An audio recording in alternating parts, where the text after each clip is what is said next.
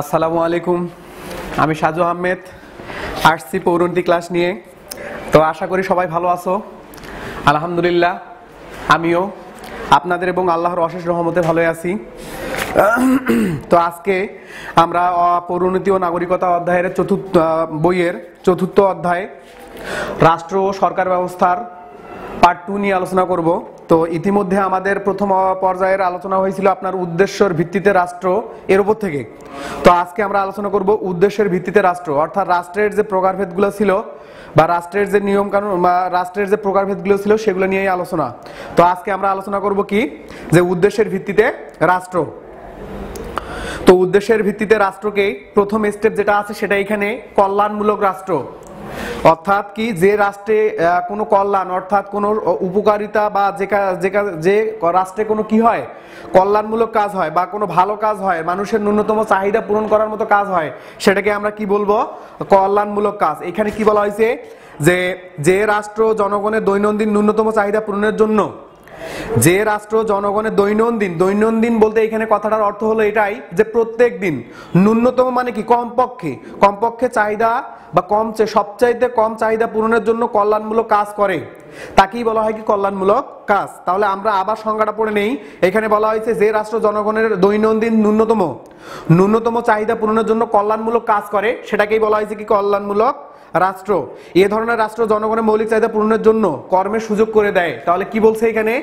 যে এরকম, এ- ধরনের রাষ্ট্র জনগণের মৌলিক চাহিদা পূরণের পাশাপাশি তাদেরকে কর্মের কি করে দেয়? সুযোগ করে দেয় ভিউয়ার্স তো এবার চলে যাই আমরা এখানে কি বলছে? বেকার ভাতা প্রদান করে, বিনা খরচে শিক্ষা ও চিকিৎসার ব্যবস্থা করে।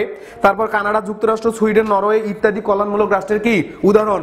ভেরি ভেরি ইম্পর্টেন্ট এটা আন্ডারলাইন করে রাখবা যে আসতে পারে যে কল্যাণমূলক রাষ্ট্রের উদাহরণ নিচের কোনটি? নিচের কোনটি? বাইরে দেওয়া থাকবে তিনটা, এখানকার দেওয়া থাকবে একটা। বা এরকমও দেওয়া থাকতে পারে যে নিচের কোনটি নয়। যখন নিচের কোনটি নয়, তখন কি এইখান দেখা দেওয়া থাকবে তিনটা আর বাইরে দেওয়া থাকবে কি একটা। তো অতএব আপনারা এটা নৈবেদিকের জন্য বা এমসিকিউর জন্য অবশ্যই এটা পড়ে রাখবেন ভিউয়ার্স তো এবার চলে যাই আমরা এই ধরনের রাষ্ট্রের বৈশিষ্ট্য কয়েকটা দেওয়া আছে এখানে। বৈশিষ্ট্যগুলো, প্রথম বৈশিষ্ট্য হলো কি? রাষ্ট্র সমাজের মঙ্গলের জন্য সামাজিক নিরাপত্তার ব্যবস্থা জোরদার করে। তো এখানে বলা হয়েছে, খাদ্য, বস্ত্র, শিক্ষা, চিকিৎসা ও বাসস্থানের ব্যবস্থাও করে। রাস্তাঘাট, এতিমখানা, সরাইখানা, খাদ্য, ভর্তুকি প্রদান ও কর্মসংস্থানের ব্যবস্থাও করে। বেকার ভাতা, অবসরকালীন ভাতা প্রতিবন্ধী ভাতা ইত্যাদিও প্রদান করে। এ তারপর দ্বিতীয় উদ্দেশ্য কে বলছে, বৈশিষ্ট্য কি বলছে? যে সচ্ছলদের উপর উচ্চ হারে কর ধার্য করে। ও কম সচ্ছলদের উপর কম কর ধার্য করে দরিদ্র ও দুস্থদের সাহায্য পুনর্বাসনের কি করে? ব্যবস্থা করে, ঠিক আছে? তারপর তৃতীয় স্টেপে বলছে, কৃষক ও শ্রম, কৃষক, শ্রমিক ও মজুরদের স্বার্থ রক্ষার জন্য ন্যূনতম মজুরি ব্যবস্থা করে। তাহলে এখানে কি বলছে? এই কল্যাণমূলক রাষ্ট্র যারা কৃষক থাকে, যারা গরিব থাকে, তাদের জন্য ন্যূনতম একটা কি? মজুরির ব্যবস্থা করে, যা দ্বারা তাদের জীবনযাত্রার মান উন্নয়ন করতে পারে। এবার চলে আসি আমরা সমবায় সমিতি গঠন ও শ্রমিক কল্যাণ সমিতি গঠন করে কৃষক, শ্রমিক ও মজুরদের স্বার্থ সংরক্ষণের ব্যবস্থাও করে, ঠিক আছে? তো চলে যাই এবার সরকারের শ্রেণি বিভাগ।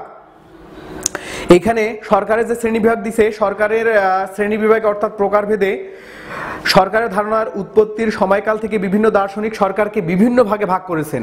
তার মধ্যে যে শখটা দেওয়া আছে, এই শখটা অবশ্যই তোমরা দেখে নিবা। এখানে ছকে বলা হয়েছে, সরকারকে প্রধানত দুই ভাগে ভাগ করা হয়েছে, একটা ক্ষমতা বন্টনের নীতির উপর ভিত্তি করে, আর একটা আইন শাসন বিভাগের সম্পর্কের উপর ভিত্তি করে, ঠিক আছে? আবার ক্ষমতা বন্টনের নীতির উপর ভিত্তি করে এবার এইটাকে কয় ভাগে ভাগ করা হয়েছে? দুই ভাগে। একটা এক কেন্দ্রিক সরকার, আর একটা কি? যুক্তরাষ্ট্রীয় সরকার। সেকেন্ড স্টেপে যদি আমরা চলে যাই, তাহলে এখানে সংসদীয় সরকার এবং রাষ্ট্রপতি শাসিত সরকার।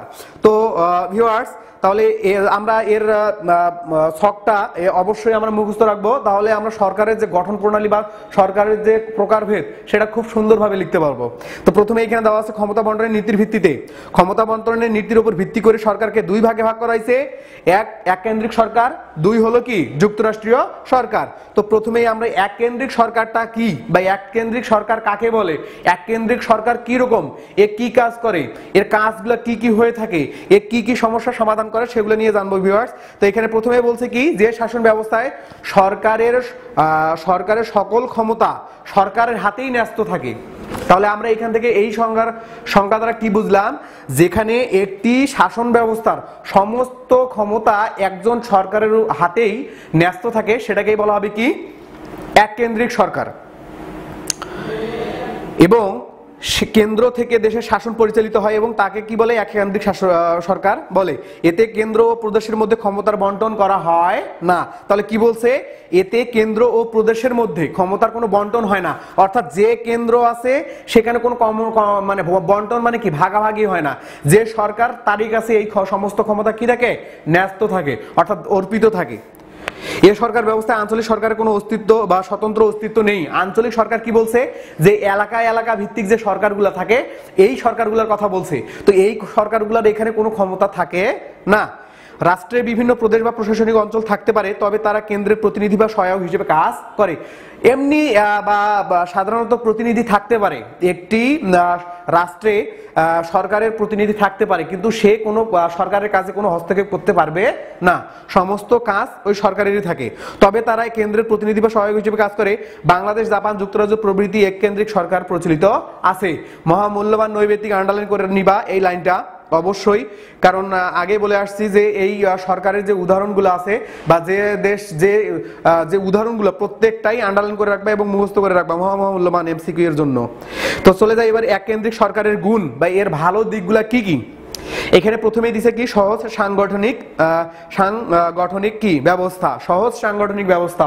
অবশ্যই ভিউয়ার্স কারণ এক কেন্দ্রিক সরকারের যখন গঠন করা হয়, তখন এখানে কোনো কি? কোনো জটিলতা সৃষ্টি হয় না। একজনই এখানে প্রধান থাকে। এর জন্য এখানে কোনো জটিলতা সৃষ্টি হয় না। তারপর এখানে কি বলছে? এতে কেন্দ্রের হাতে সব ক্ষমতা ন্যস্ত থাকে। কেন্দ্র ও প্রদেশের মধ্যে ক্ষমতা বন্টনের কোনো ঝামেলা নেই। হুম, কোনো ঝামেলাই নেই। কেন্দ্রে কোনো সিদ্ধান্ত গ্রহণ করতে হলে এক কেন্দ্রিক সরকার অর্থাৎ সে নিজে নিজেই করে নেয়। এছাড়া সারা দেশে অভিন্ন আইন, নীতি ও পরিকল্পনা বলবৎ রাখা হয়। মানে কি? চালু রাখা হয়। বলবৎ মানে হলো কি ভিউয়ার্স চালু রাখা। ফলে সাংগঠনিক সামঞ্জস্য থাকে। সামঞ্জস্য মানে কি? একটা মিল। সামঞ্জস্য মানে কি? মিল। অর্থাৎ প্রত্যেকটা একটা দেশের প্রত্যেকটি রাষ্ট্রের প্রত্যেকটি অঞ্চলে যে সাংগঠনিক যে আইনগুলো আছে সেগুলোর কি থাকে? মিল থাকে। জাতীয় ঐক্যের প্রতীক। অবশ্যই ভিউয়ার্স যে এই সরকার ব্যবস্থা রাষ্ট্রের ভিতরে বিভিন্ন প্রদেশ বা অঞ্চল থাকলেও কোনো স্বায়ত্ত শাসন নেই। স্বায়ত্ত শাসন মানে কি? অঞ্চল ভিত্তিক শাসন। অঞ্চল ভিত্তিক শাসনটাকে আমরা কি বলব? স্বায়ত্ত স্বায়ত্ত শাসন তারপর এখানে কি বলছে? ফলে সারা দেশের জন্য একই প্রশাসনিক নীতি ও আইন প্রণয়ন বাস্তবায়ন করা হয়, যা জাতীয় সংহতি ও অখণ্ডতা বজায় রাখতে সহায়তা করে। মিতব্যয়িতা। মিতব্যয়িতা এখানে কি বলছে? এক কেন্দ্রিক সরকারের প্রশাসনিক ব্যয় কম।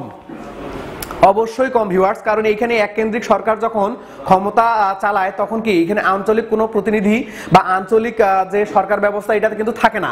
তো এটা না থাকার কারণে যে সরকার এটা না থাকার কারণে তখন কি? যে অতিরিক্ত যে শ্রম, বা অতিরিক্ত যে একটা টাকা ব্যয়বহুল, সেটা কিন্তু করতে হয় না। তারপর চলে আসি আমরা দ্রুত সিদ্ধান্ত গ্রহণ। এক কেন্দ্রিক সরকারের এটি একটি মহৎ গুণ, কারণ এক কেন্দ্রিক সরকারের যখন ও যদি কোনো সিদ্ধান্ত গ্রহণ করতে চায়, তাহলে ও নিজে নিজেই করে ফেলতে পারে। এখানে আর কারোর সাথে যে পরামর্শ করতে হবে, এরকম কোনো তার কি? তা না করলেও চলে। ঠিক আছে? সেই জন্য এ দ্রুত সিদ্ধান্ত গ্রহণ করতে হয়। আমরা যদি গণতন্ত্র বা অন্য অন্য যুক্ত রাষ্ট্রীয় ব্যবস্থায় যাই, তাহলে কি? যে সরকার যদি কোনো সিদ্ধান্ত গ্রহণ করতে চায়, তাহলে মন্ত্রী পরিষদের সাথে আলোচনা করতে হবে, জনগণের সাথে পরামর্শ করতে হবে। কিন্তু এই এক কেন্দ্রিক সরকার ব্যবস্থা এটা করতে হয় না। সরকার যা মনে করবে, সে, যে, যা জনগণের জন্য ভালো মনে করবে, সেটাই করতে পারবে। ছোট রাষ্ট্রের উপযোগী। এক কেন্দ্রিক সরকার ভৌগোলিক দিক দিয়ে অপেক্ষাকৃত ছোট ও অভিন্ন কৃষ্টি সম্পন্ন রাষ্ট্রের জন্য বেশ উপযোগী, যেমন বাংলাদেশ ও শ্রীলঙ্কা। তাহলে ছোট, আমাদের যে রাষ্ট্র আছে বাংলাদেশ এবং শ্রীলঙ্কা, এগুলো ছোট ছোট রাষ্ট্রের জন্য খুবই উপযোগী। এক কেন্দ্রিক সরকারের, এক কেন্দ্রিক সরকার ব্যবস্থাটা ছোট যেগুলো রাষ্ট্র, যেমন বাংলাদেশ, তারপর আপনার শ্রীলঙ্কা তারপরে যদি আমরা ছোট ছোট যে দেশগুলো আছে বা ছোট ছোট যে রাষ্ট্রগুলো আছে, সেই রাষ্ট্রের জন্য এই এক কেন্দ্রিক সরকার খুবই উপযোগী। যেমন এখানে দেওয়া আছে, উদাহরণস্বরূপ বাংলাদেশ এবং কি? শ্রীলঙ্কা আন্ডারলাইন করে রাখবা। তারপর চলে যাই আমরা এক কেন্দ্রিক সরকারের ত্রুটি। আমরা আগে থেকেই জানি যে কোনো জিনিসের যদি কোনো উপকার থাকে, তাহলে অবশ্যই ওর কি থাকে? ভুলও থাকে বা ত্রুটিও থাকে। তো এখানে ত্রুটি দেওয়া আছে কাজের চাপ। অবশ্যই ভিউয়ার্স যেহেতু একটা রাষ্ট্রের সকল ক্ষমতা বা কাজের উৎস বা একজনকার হাতেই ন্যস্ত থাকে, তো এই জন্য সমস্ত রাষ্ট্রের যত প্রকার কাজ আছে, সব কাজ উনি একাই করে। এই জন্য ওনার ওপর কাজের চাপও সেরকম বেশি থাকে। তো এরপরে চলে যাই আমরা স্থানীয় নেতৃত্ব বিকাশের অনুকূল নয়। এ ব্যবস্থায় কেন্দ্রীয়ভাবে ক্ষমতা চর্চার, ক্ষমতার চর্চা ও সিদ্ধান্ত গৃহীত হয়।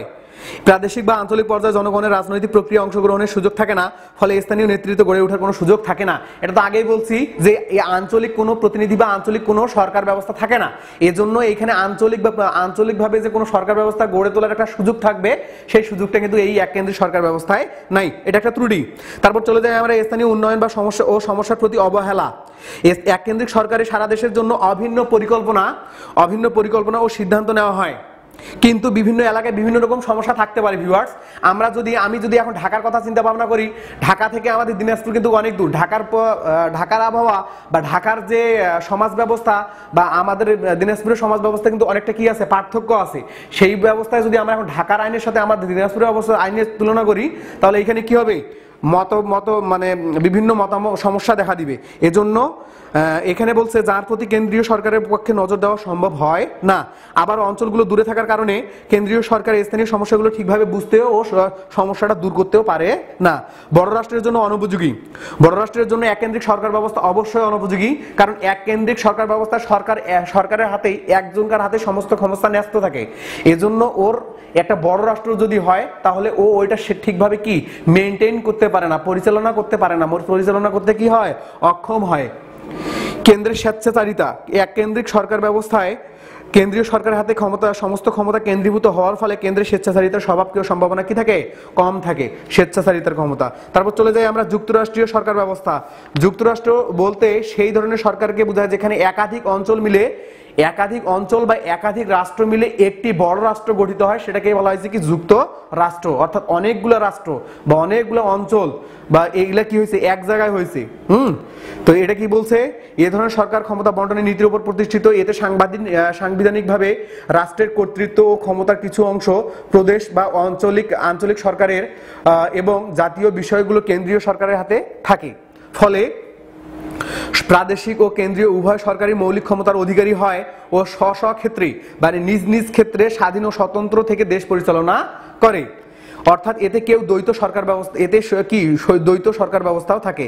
যেমন ভারত মার্কিন যুক্তরাষ্ট্র, কানাডা প্রভৃতি দেশে যুক্তরাষ্ট্রীয় সরকার পদ্ধতি চালু রয়েছে ভিউয়ার্স এবার চলে যাই আমরা যুক্তরাষ্ট্রীয় সরকারের গুণ। যুক্তরাষ্ট্রীয় সরকারের গুণ দেওয়া আছে কি জাতীয় ঐক্য ও আঞ্চলিক শান্ত স্বাতন্ত্র্যের কি সমন্বয় ঘটায়? এখানে বলছে জাতীয় ঐক্য ও আঞ্চলিক স্বাতন্ত্র্যের যে একটা সমন্বয় আছে, মিল আছে, সেটা এখানে কিন্তু ঘটে। এখানে কি বলছে? এ ধরনের সরকার আঞ্চলিক স্বাতন্ত্র্য ও ভিন্নতা বজায় রেখে জাতীয় ঐক্য গড়ে তোলে। এতে আঞ্চলিক বৈশিষ্ট্য ও ভিন্নতাকে স্বীকৃতি দিয়ে সেগুলো লালন করা হয়। ফলে এই ব্যবস্থায় বৈচিত্র্যের মধ্যে ঐক্য গড়ে ওঠে। ঠিক আছে? কেন্দ্রীয় সরকারের কাজের চাপ কমায়। অবশ্যই ভিউয়ার্স যদি কেন্দ্রীয় সরকার যেহেতু থাকে, তখন কি যে এটা আঞ্চলিক ভিত্তিক যে সরকারগুলো থাকে, ওরাও কিন্তু ওদের কাজ ওদের কাজ ভাগ করে দেওয়া থাকে। তো ওদের, ওরা যদি ওদের কাজটা করে, তখন কি কেন্দ্রীয় সরকার যে আছে, তার কিন্তু কাজটা অনেকভাবে কি হয়ে যায়? লাঘব হয়ে যায় বা হ্রাস পায় বা কমে যায়। আঞ্চলিক সমস্যা সমাধানের উপযোগী। যুক্তরাষ্ট্রীয় ব্যবস্থায় আঞ্চলিক সরকার সহজে অঞ্চলের সমস্যাগুলো বুঝতে পারে ও এবং তা চিহ্নিত করে তার সমাধান করতে পারে। যেহেতু তিনি অতপ্রতভাবে প্রত্যেকটা অঞ্চলের সাথে জড়িত থাকে, তা তো অবশ্যই যে সেই অঞ্চলে কি সমস্যাগুলো বুঝতে পারে, চিহ্নিত করে এবং সেই অনুযায়ী ওটা কি করে? সমাধান করে। রাজনৈতিক চেতনা বৃদ্ধি ও স্থানীয় স্থানীয় নেতৃত্বের বিকাশে সহায়ক। অবশ্যই যেহেতু অঞ্চলভেদে প্রতিনিধির দায়িত্ব বা ক্ষমতা থাকে, সেজন্য কি যে আঞ্চলিক যারা দায়িত্ব দায়িত্ব পালন করে, তাদের কি ক্ষমতার এখানে ক্ষমতার ব্যবহার করা হয়, সেই জন্য তারা কি করে? যে তাদের যে নিজস্ব যে তোমার ক্ষমতা ক্ষমতাটা আছে, সেটা প্রয়োগ করতে কি পায়? সুযোগ পায়। ফলে জনগণ রাজনৈতিকভাবে অধিকত সচেতন হয়ে ওঠে। এ ধরনের ব্যবস্থা স্থানীয় নেতৃত্ব বিকাশে খুবই সহায়ক। কেন্দ্রের স্বেচ্ছাচারিতা লোপ পায়। কেন্দ্র ও প্রদেশের মধ্যে ক্ষমতা বন্টনের ফলে কেন্দ্র নিরঙ্কুশ ক্ষমতার অধিকারী হতে পারে না। ফলে কেন্দ্রের স্বেচ্ছাচারী হওয়ার আশঙ্কাও থাকে না। যুক্তরাষ্ট্রীয় সরকারের এখানে যেহেতু এরও উপকার আছে, এরও কি আছে? অপকার বা ক্ষতিও আছে। সেটা এখানে কি বলছে? যে জটিল প্রকৃতির শাসন, যুক্তরাষ্ট্রীয় সরকারের গঠন প্রণালীর জটিল প্রকৃতির, এ যেন সরকারের ভিতর সরকার। এ যেন সরকারের ভিতর কি? সরকার। ফলে কেন্দ্র ও প্রদেশের মধ্যে সম্পর্ক নির্ধারণ, ক্ষমতা বন্টন, আইন প্রণয়ন ও প্রয়োগ প্রভৃতি জটিলভাবে মানে জটিলতা সৃষ্টি হয় আর কি। ঠিক আছে? সরকারের ভিতরে সরকার। কথায় আছে না যে দশ মোল্লা না, মুরগি মরে সেন না। কথাটা এটাই যে যেহেতু এখানে সরকার অনেকগুলা এ একটা সিদ্ধান্ত নিবে, ও আর একটা সিদ্ধান্ত নিবে। যখন দুইজনকার মধ্যে একটা কি অভিন্ন বা মত, মতভেদাভেদ দেখা দিবে, তখন কি তাদের মধ্যে কি আপনার সমস্যা দেখা দিবে বা জটিলতা দেখা দিবে? ক্ষমতার দ্বন্দ্ব, এতে ক্ষমতার এখতিয়ার নিয়ে কেন্দ্র বা প্রদেশের কেন্দ্র, প্রদেশ এমনকি বিভিন্ন প্রদেশের মধ্যে দ্বন্দ্ব বা সংঘাত সৃষ্টি পারে, হতে পারে। দুর্বল সরকার ক্ষমতা বন্টনের ফলে জাতীয় আঞ্চলিক সরকারের সরকার উভয় দুর্বল অবস্থায় থাকে। জরুরি অবস্থায় অনেক সময় দ্রুত ও বলিষ্ঠ নেতৃত্বের সিদ্ধান্ত নেওয়া যায়। না, আঞ্চলিক সরকারের মতামত প্রয়োজন হলে সিদ্ধান্ত গ্রহণে দেরি হয়। বিচ্ছিন্ন হওয়ার আশঙ্কাও থাকে। যেহেতু দ্বন্দ্ব হয়, ব্যয়বহুলও হয়, অনেক যেহেতু যেহেতু দ্বৈত দ্বৈত সরকার, আঞ্চলিক সরকার একটা, আবার কি একটা মেইন সরকার একটা। তাহলে দুইটা, এজন্য এটা কি ব্যয়বহুলও হয় আবার? তারপর এখানে বলছে যে আইন ও শাসন বিভাগের সম্পর্কের ভিত্তিতে সরকারের শ্রেণি বিভাগ। আমি আগেই বলছি ভিউয়ার্স যে এতগুলা কথা মনে রাখা সম্ভব নয়। তো আমরা যদি আসে যে যুক্তরাষ্ট্রীয় সরকারের গুণগুলো তুলে ধরো, তখন তোমরা কি করবা যে হিন্টসগুলো যে হিন্টসগুলো দেওয়া আছে, এই হিন্টসগুলা তোমরা অবশ্যই ভালো করে মনে রাখবা। হিন্টসগুলো মনে রাখলে এই এগুলো রিডিং তো আমরা মেইন হিন্টসগুলো যে দেওয়া আছে, এই হিন্টসগুলো মনে রাখব, ঠিক আছে? হিন্টসগুলো মনে রাখলে আমরা লিখতে পারব। তো এবার চলে যাই আমরা সংসদীয় সরকার। যে সরকার যে সরকার শাসন ব্যবস্থায় শাসন বিভাগ ও আইন বিভাগের মধ্যে অত্যন্ত ঘনিষ্ঠ সম্পর্ক কি? সৃষ্টি করে। সৃষ্টি করে, সেটাই হবে তো আপনার সংসদীয় সরকার। এখানে কি বলছে তাহলে পড়ে নেই একবার, যে সরকার ব্যবস্থা, শাসন বিভাগ ও আইন বিভাগের মধ্যে সম্পর্ক অত্যন্ত ঘনিষ্ঠ এবং শাসন বিভাগের স্থায়িত্ব কার্যকারিতা আইন বিভাগের উপর নির্ভরশীল থাকে নির্ভরশীল তাকে মন্ত্রী পরিষদ শাসিত সরকার বা সংসদীয় পদ্ধতিতে পদ্ধতি সরকার বলে। এখানে বলছে কি তাহলে? শাসন বিভাগের স্থায়িত্ব কার্যকারিতা আইন বিভাগের উপর নির্ভরশীল থাকে। হুম, নির্ভরশীল। তাকেই বলা হয় কি মন্ত্রী পরিষদ শাসিত সরকার বা সংসদীয় সরকার, তাহলে সমস্ত কাজ কার উপর নির্ভরশীল থাকতেছে? নির্ভর নির্ভর করতেছে আইন বিভাগের উপর। আইন বিভাগের উপর যদি নির্ভর থাকে, তাহলে আমরা তাকে মন্ত্রী পরিষদ শাসিত সরকার বা সংসদীয় সরকার পদ্ধতি সরকার বলতে পারব। এতে মন্ত্রিসভার হাতে দেশের ক্ষম- ক্ষমতা থাকে, ঠিক আছে? যেহেতু এটা মন্ত্রিসভার নেতৃত্বেই চলে, সেহেতু দেশের সমস্ত ক্ষমতা কার উপর চলে থাকে? মন্ত্রিসভার উপরেই থাকে। সাধারণ নির্বাচনে সংশোধনের সংখ্যাগরিষ্ঠ আসনে বিজয়ী দল মন্ত্রিসভা গঠন করে। যে এইখানে বলছে কি, যখন নির্বাচন হয় নির্বাচন হওয়ার পর এখানে কি বলছে? যে সাধারণ নির্বাচন, নির্বাচনের পর সংসদ সদ- সংসদের সংখ্যাগরিষ্ঠ মানে যারা সংখ্যায় বেশি থাকে, তাদের ওরা ওই বিজয়ী দল হিসেবে গণ্য হয়। এবং ওরাই কি করে? এই মন্ত্রী পরিষদটা গঠন করে। দলের আস্থাভাজন ব্যক্তি হন প্রধানমন্ত্রী। অর্থাৎ ওই মন্ত্রীদের মধ্যে যারা যারা সবাইকে আস্থা করে বা যারা সবাইকে সবাই যাকে বিশ্বাস করে, ঠিক আছে সবাই যাকে বিশ্বাস করে, তার হাতে কি থাকে? আপনার প্রধানমন্ত্রী হয় হন তিনি। তিনি দলের গুরুত্বপূর্ণ সদস্যদের মধ্যে অন্যান্য মন্ত্রী নিয়োগ করেন। ও তাদের মধ্যে দপ্তর বন্টন করেন। দপ্তর দপ্তর বলতে এখানে বলছে কি বিভিন্ন বিভাগ। যেমন কেউ আবার সড়ক পরিবহন মন্ত্রী, আবার কেউ শিক্ষা মন্ত্রী, আবার কেউ বাণিজ্য মন্ত্রী, আবার কেউ টেলিযোগাযোগ মন্ত্রী, কেউ কৃষি মন্ত্রী হ্যাঁ এই যে বন্টনগুলা, দপ্তরগুলা, এগুলাকে বলছে দপ্তর। এই এইটার সমস্ত দায়িত্ব কার উপর থাকে? প্রধানমন্ত্রীর উপর থাকে। তারপর কি বলছে? তিনি দলের গুরুত্বপূর্ণ সদস্যের মধ্যে থেকে মন্ত্রী নিয়োগ করেন তাদের মধ্যে ক্ষমতা বা দপ্তর বন্টন করেন। মন্ত্রীগণ সাধারণত আইন পরিষদ বা সংসদ সদস্যদের মধ্য থেকে মনোনীত হন, তাই এই সরকারকে বলা হয় সংসদীয় সরকার বা পার্লামেন্টেরই পদ্ধতি সরকার। পার্লামেন্ট শব্দের অর্থ হলো কি? সংসদ, জাতীয় সংসদ। বাংলাদেশ, ভারত, যুক্তরাষ্ট্র, সুইডেন, অস্ট্রেলিয়া প্রভৃতি দেশে এই অবস্থায় সরকার পদ্ধতি কি আছে? চালু আছে। তো এবার চলে যাই আমরা সংসদীয় সরকারের গুণ। সংসদীয় সরকারের গুণ কি আছে? দায়িত্বশীল শাসন ব্যবস্থা। সংসদীয় সরকারের গুণের অবশ্যই দায়িত্বশীল শাসন ব্যবস্থা হবে, কারণ এখানে একজন বিরোধী দল থাকে। এই বিরোধী দল থাকার কারণে সরকার কোনো ভুল ত্রুটি বা ভুল কাজ করার সুযোগ পায় না। যদি কোনো ভুল কাজ করে, তাহলে অবশ্যই সে কি করে? তার বিরোধী দল যে থাকে, তিনি সেই কাজটা কি ভুল ধরে, ভুল ধরায় দেন এবং তা জনগণের সামনে উপস্থাপন করে। বিধায় এখানে কি সরকার কোনো ভুল ত্রুটি কাজ করতে পারে? না আইন ও শাসন বিভাগের ঘনিষ্ঠ সম্পর্ক? শাসন বিভাগের সদস্যগণ আইনসভার সদস্য হওয়ায় এ সরকারে আইন ও শাসন বিভাগের মধ্যে বন্ধুত্বপূর্ণ একটা ক্রিয়া থাকে, সম্পর্ক থাকে। তারপর চলে যাই আমরা বিরোধী দলের মর্যাদা। অবশ্যই ভিউয়ার্স এখানে বিরোধী দলের মর্যাদা খুব বেশি পরিমাণে হয়ে থাকে। বিরোধী দলের এইখানে যে দলটা বিজয় লাভ করে, তার পরবর্তী দলটাই কি হয়ে যায়? বিরোধী দল হয়। বিরোধী দল সব সময় খুঁজে যে একটা, যে দল শাসন ভারে আছে, সে কি কি ক্ষমতা করতে মানে ভুল করতেছে। এই ভুলগুলা জনগণের সামনে তুলে ধরাই হলো বিরোধী দলের প্রধান কাজ। সমালোচনার সুযোগ।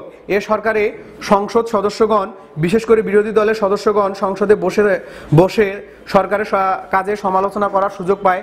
ফলে সরকার তার কাজে সংযুক্ত হয় ও ভালো কাজ করার চেষ্টা করে। এবার চলে যাই আমরা রাজনৈতিক শিক্ষা দেয়। সংসদীয় সরকার জনমতের দ্বারা পরিচালিত হয়। তাহলে ভিউয়ার্স আমরা এটা একটা মহামূল্যবান কথা এখানে বলছে যে সংসদীয় সরকার জনমতের দ্বারা কি হয়? পরিচালিত হয়। অর্থাৎ জনগণের ইচ্ছা মতোই আপনার সংসদীয় সরকারটা কি হয়? পরিচালিত হয়। জনগণ যদি চায় যে সরকারকে রাখবে, তো রাখবে। আর যদি চায় যে আমি, আমরা এই সরকারকে, সরকারের আমাদের কোনো কি উপকার হচ্ছে না আমরা এই সরকারকে রাখব না, তো এই সরকারকে তারা বাতিলও করতে পারে। অর্থাৎ জনমতের দ্বারা এটা কি হয়? পরিচালিত হয়। তারপর চলে যাই আমরা জনমতকে অনুকূলে রাখার জন্য। তাই সরকারি ও বিরোধী দল সব সময় কি থাকে? তৎপর থাকে ভিউয়ার্স তারপর বলছে, সংসদে বিতর্ক হয়। এতে জনগণ রাজনৈতিকভাবে কি হয়? সচেতন হয়। সংসদীয় সরকারের ত্রুটি ত্রুটি দিছে এখানে যে স্থিতিশীলতার অভাব। সংসদীয় সরকারের মেয়াদকাল আমরা জানি পাঁচ বছর, ঠিক আছে? এখানে এরা স্থায়ী না। এরা ক্ষণস্থায়ীভাবে কাজ করে। অর্থাৎ একটা নির্দিষ্ট সময়ের ফলে এদের পতন ঘটে আর কি। তারপরে ভরে তারপর এখানে বলছে ক্ষমতার অবিভাজন। এ ধরনের সরকারের বা শাসন ও আইন প্রণয়ন ক্ষমতা একই স্থানে তথা মন্ত্রী পরিষদের হাতে থাকে বলে মন্ত্রী পরিষদ কি হয়ে ওঠে?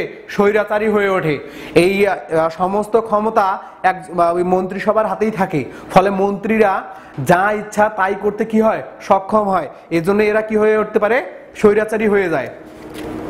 এজন্য সংসদীয় সরকারকে সংখ্যাগরিষ্ঠতা, স্বৈরাচার বলে আখ্যায়িত করা হয়েছে ভিউয়ার্স তো মহামূল্যবান কথা আসতে পারে যে কোন সরকারকে স্বৈরাচার বলে আখ্যায়িত করা হয়েছে। অবশ্যই হবে কি, সংসদীয় সরকারকে অতি দলীয় মনোভাব। সংসদীয় সরকার মূলত দলীয় সরকার। অতএব এতে দলের সংখ্যাগরিষ্ঠতার উপর সরকার গঠন ও স্থায়িত্ব নির্ভর করে, ফলে দলকে অত্যাধিক গুরুত্ব দেওয়া হয়।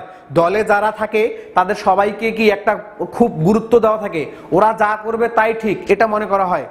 ক্ষমতাসীন ও বিরোধী দল উভয়ই চরম দলীয় মনোভাব নিয়ে কাজ করে। এছাড়া দলীয় সরকার হওয়ায় দলের সদস্যদের সন্তুষ্ট করার জন্য মেধা ও যোগ্যতা বিবেচনা না করে অনেকে মন্ত্রিসভায় অন্তর্ভুক্ত করা হয়, ফলে জাতীয় স্বার্থ কি থাকে ব্যাহত হয় বা নষ্ট হয়? ঠিক আছে? তো সিদ্ধান্ত গ্রহণে বিলম্ব। যেহেতু মন্ত্রী পরিষদ শাসিত সরকার তো মন্ত্রীরা মন্ত্রীরা কি, অনেকজন। তো এইখানে যে কোনো সিদ্ধান্ত গ্রহণ করতে গেলে সবার মাধ্যমে একটা কি সুপরামর্শ বা আলোচনা করার লাগে। এই আলোচনার মাধ্যমে সিদ্ধান্ত গ্রহণ করতে গেলে কি লাগে? অনেক সময় লাগে বা বিলম্ব হয়ে যায়। রাষ্ট্রপতি শাসিত সরকারে চলে যায় ভিউয়ার্স রাষ্ট্রপতি শাসিত সরকারে এখানে বলা হয়েছে যে, রাষ্ট্রপতি সরকার বলতে সেই সরকারকে বোঝায় যেখানে শাসন বিভাগ তার কাজের জন্য আইন বিভাগের নিকট দায়ী থাকে না। তাহলে এখানে কি বলছে? যে রাষ্ট্রপতি সরকার বলতে সেই সরকারকে বোঝায় হ্যাঁ যেখানে শাসন বিভাগ তার কাজের জন্য আইন বিভাগের আইন বিভাগের উপর কোনো কি দায়ী থাকে না বা নিকট দায়ী থাকে না। শাসন বিভাগ তার কাজের জন্য, আইন বিভাগের উপর কোনো দায়ী থাকে না বা নিকট দায়ী থাকে না। এটাকে বলব আমরা কি রাষ্ট্রপতি শাসিত সরকার। রাষ্ট্রপতি তার পছন্দের ব্যক্তিদের নিয়ে মন্ত্রী মন্ত্রিসভা গঠন করতে পারে এখানে। এখানে কি রাষ্ট্রপতি তার পছন্দের ব্যক্তিদের নিয়ে কি করতে পারে? মন্ত্রী পরিষদ গঠন করতে পারে। ঠিক আছে? তো এখানে বলছে, রাষ্ট্রপতি মন্ত্রিসভার সদস্যগণ, আইনসভার সদস্য নন। মন্ত্রীগণ তাদের কাজের জন্য রাষ্ট্রপতির কাছে দায়ী থাকেন। রাষ্ট্রপতি সন্তুষ্টির জন্য উপর মন্ত্রীদের কার্যকাল নির্ভর করে। রাষ্ট্রপতি শাসিত সরকারে রাষ্ট্রপতি সব সর্বময় ক্ষমতার কি হয়? অধিকার হয়। রাষ্ট্র এটা তো অবশ্যই আমরা বুঝতে পারছি যে রাষ্ট্রপতি শাসিত সরকারে আপনার যে সমস্ত একটা রাষ্ট্রের যত ক্ষমতা আছে, সমস্ত ক্ষমতার দায়ভার কার উপর থাকে? রাষ্ট্রপতির থাকে। তিনি প্রকৃত শাসক ও সরকার প্রধান। তারপর তিনি কোনো কাজে মন্ত্রীদের পরামর্শ গ্রহণ করতেও পারেন, আবার নাও পারেন। তাহলে আমরা এখানে কি বুঝলাম ভিওয়ার্স যে রাষ্ট্রপতি শাসিত সরকারে মন্ত্রীদের তিনি গঠন করছেন, ঠিক আছে, কিন্তু তিনি কোনো সিদ্ধান্ত গ্রহণ করতে গেলে তিনি মন্ত্রীদের পরামর্শ নিতেও পারেন, আবার নাও নিতে পারেন। এখানে কোনো দেখার বিষয় নাই। মার্কিন যুক্তরাষ্ট্রের রাষ্ট্রপতি শাসিত সরকার। আমরা বর্তমানে জানি যে মার্কিন যুক্তরাষ্ট্রের প্রেসিডেন্ট হলো ডোনাল্ড ট্রাম্প। তো ডোনাল্ড ট্রাম্প, এটা হলো কি রাষ্ট্রপতি শাসিত সরকার? তিনি কিন্তু ও দেশের কি? রাষ্ট্রপতি। তো রাষ্ট্রপতি তিনি যদি চান যে মন্ত্রীদের কাছ থেকে কোনো কিছু পরামর্শ নিবেন, তো নিবেন। আবার যদি চান যে আমি মন্ত্রীদের কোনো পরামর্শ নিব না নিব না। এটাই। তাহলে আমরা কি জানলাম? যে রাষ্ট্রপতি শাসিত সরকার কোথায় প্রচলিত আছে? মার্কিন যুক্তরাষ্ট্রে। রাষ্ট্রপতি শাসিত সরকারের গুণ স্থিতিশীল স্থিতিশীল শাসন ব্যবস্থা। অবশ্যই ভিউয়ার্স যে রাষ্ট্রপতি শাসিত সরকারে অবশ্যই কি, স্থিতিশীল শাসন ব্যবস্থা চালু আছে।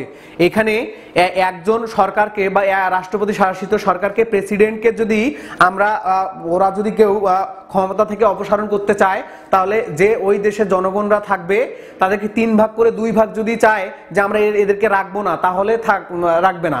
আর যদি এক ভাগ চায়, যে তিন ভাগ করে এক ভাগ জনগণ ওই সরকারকে চায় না, তাহলে কিন্তু ওই সরকারকে হটাইতে পারে না। এই জন্য এই রাষ্ট্রপতি শাসিত সরকারটা অত্যাধিক একটা স্থিতিশীল শাসন ব্যবস্থা। দ্রুত সিদ্ধান্ত গ্রহণ। যেহেতু রাষ্ট্রপতি একাই সব কাজের মূল, তো দ্রুত সিদ্ধান্ত তিনি একাই গ্রহণ করতে পারেন। এখানে কারও মানে পরামর্শ প্রয়োজন হয় না। দক্ষ শাসন ব্যবস্থা। এতে রাষ্ট্রপতি মন্ত্রীগণে আইন প্রণয়ন নিয়ে বেশি মাথা ঘামাতে হয় না এবং তারা আইন পরিষদের কাছে দায়ী নন। ফলে তারা প্রশাসনিক বিষয়ে বেশি সময় দিতে পারেন না, যা প্রশাসনকে দক্ষ করে দক্ষ করে তোলে। ক্ষমতার স্বাতন্ত্রীকরণ, এখানে কি বলছে? এই শাসন ব্যবস্থা সরকারের তিনটি বিভাগ থাকে ভিউয়ার্স কয়টি ভিউয়ার্স থাকে, কয়টি বিভাগ থাকে? তিনটি। শাসন বিভাগ, আইন বিভাগ এবং কি? বিচার বিভাগ। পৃথকভাবে কাজ করে, আবার অন্যদিকে একটি অন্যটির সাথে সম্পর্ক বজায় রাখে, ফলে এতে ক্ষমতার পৃথকীকরণ ও ভারসাম্য কি থাকে? বজায় থাকে। দলীয় মনোভাবের কম প্রতিফলন। দলীয় মনোভাবের কম প্রতিফলনে এখানে কি বলছে? যে আইনসভায় বিল পাশের ক্ষেত্রে সংসদ সদস্যদের মধ্যে ভোটাভুটি সরকারের স্থায়িত্বের উপর প্রভাব ফেলে না। ফলে এই ব্যবস্থায় দলীয় মনোভাব কম প্রদর্শিত হয়। রাষ্ট্রপতি দলের চেয়ে জাতীয় স্বার্থের প্রতিনিধিত্ব করাকেই অধিকতর গুরুত্ব দেন। রাষ্ট্রপতি শাসিত সরকারের ত্রুটি স্বেচ্ছাচারী শাসন। রাষ্ট্রপতি যা চাই তাই করে, এটাকে বলা হয় স্বেচ্ছাচারী শাসন। বিভিন্ন বিভাগের মধ্যে সুসম্পর্কের অভাব। যেহেতু এখানে রাষ্ট্রপতি যা চায় তাই করতে পারে, সেহেতু এখানে কি মন্ত্রী পরিষদের তার সাথে একটা কি সুসম্পর্ক, এটা বজায় থাকে না। সেটা নষ্ট হয়ে যায় ভিউয়ার্স ঠিক আছে? তো এই জন্য এদের সুসম্পর্কের একটা অভাব থাকে। অনমনীয় শাসন ব্যবস্থা। যেহেতু রাষ্ট্রপতি শাসিত সরকারের সহজে সংবিধান সংশোধন করা যায় না, ফলে এই শাসন ব্যবস্থা কি হয়ে যায়? অনমনীয়। অর্থাৎ এটা কি? সহজে পরিবর্তন করা এটা একটা সফটনেস বা এটার যে একটা ভালো মনোভাব, সেটা কিন্তু পাওয়া যায় না। তাহলে এই অধ্যায়ে আমরা এ সরকার ব্যবস্থার সম্পূর্ণ সুন্দরভাবে জানতে পারলাম। হ্যাঁ তো যদি কোনো প্রশ্ন থেকে থাকে, যদি কোনো প্রশ্ন বুঝতে পারেন মানে না বুঝতে পারেন বা কোনো কথা না বুঝতে পারেন, তাহলে অবশ্যই কমেন্ট বক্সকে বক্সে কমেন্ট করে জানাবেন। ইনশাল্লাহ উত্তর দিব। তো আজকে এখানেই ভালো থাকবেন, সুস্থ থাকবেন। আল্লাহ হাফেজ।